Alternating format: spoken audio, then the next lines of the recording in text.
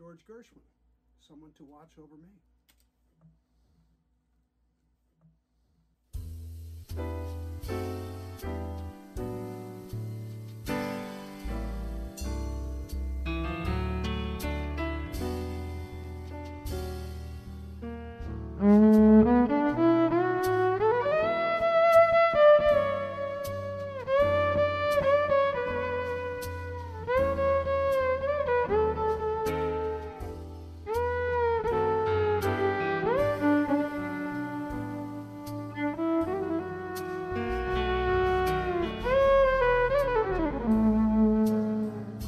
Mm-hmm.